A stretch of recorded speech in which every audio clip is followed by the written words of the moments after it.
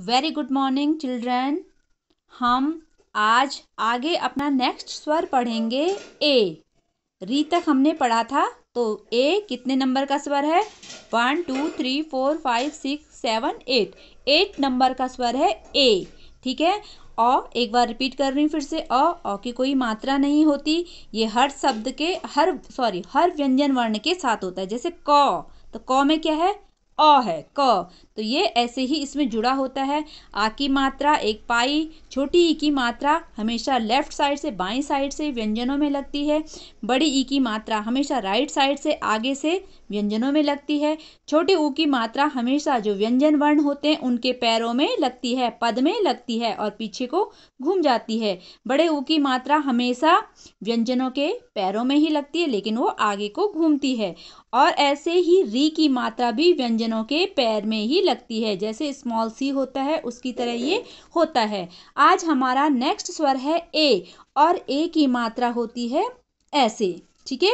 ऊपर से एक मात्रा, ये ए ए जैसे क है तो क में ए लगा दिया ए के तो हमें, मैंने आपको बार बार बता रही हूँ कि जिस व्यंजन में जो स्वर लगता है, जब हम उसका उच्चारण करते हैं, उसको पढ़ते हैं, उसको बोलते हैं तो वो हमें, वो मतलब वो स्वर हमें उसमें सुनाई देता है, वो हमें ध्यान देना पड़ेगा। जैसे के ए सुनाई दे रहा देखो जैसे यहाँ पर हम पढ़ रहे थे जैसे का तो आ, की तो ई, फिर की तो बड़ी ई, कु, छोटा ऊ पु, बड़ा ऊ क्री, री, अब ऐसे ही के तो ए तो ये ऐसे ए की मात्रा होती है, ये ए होता है और ये इसकी मात्रा होती है ऊपर से एक मात्रा। ये भी व्यंजनों के सिर में लगता है। लेकिन आपने जो यहाँ पर ये जो पाई होती है, ये वाली, इससे जोड़ करके ही इस मात्रा को लगाना है। इधर उधर नहीं। ऐसे नहीं कि ऐसे।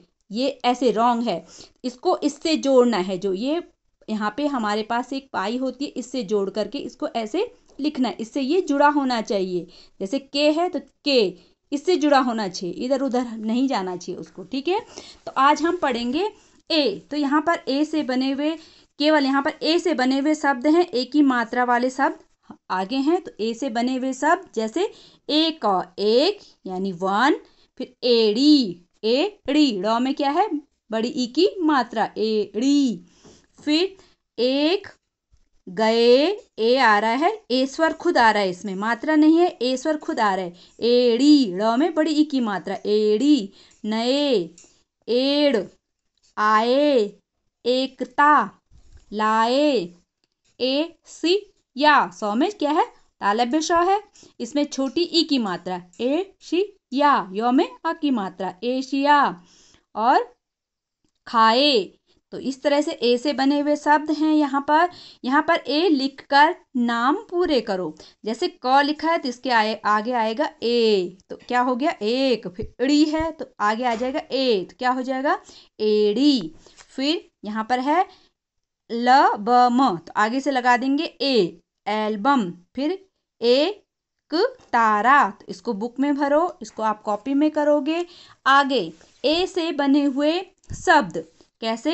ए इसमें मैंने आपको बता दिया कि ए है ये प है प में ए की मात्रा तो क्या हो गया? पे अड़ पेड़ फिर सौ में ए की मात्रा तो से ए सुनाई दे रहा है से ब सेब फिर शे ता, ताले शाह उसमें ए की मात्रा से र फिर के ले क में एक की मात्रा लौ में भी एक ही मात्रा केले फिर बेल मेला करेला।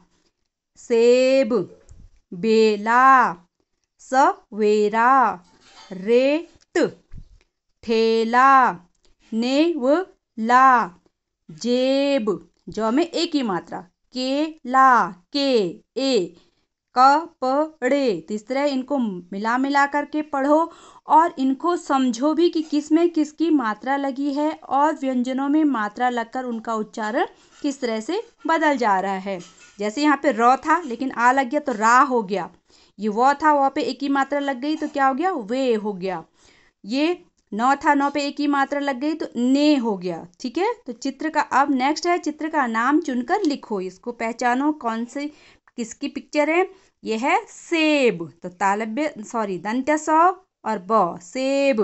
फिर यह है करेला। तो र पे एक ही मात्रा, ठीक है? उससे जोड़कर ही मात्रा लगाना। करेला। तो इसको बुक में भरोगे, ये और ये काम आप कॉपी में करोगे ओके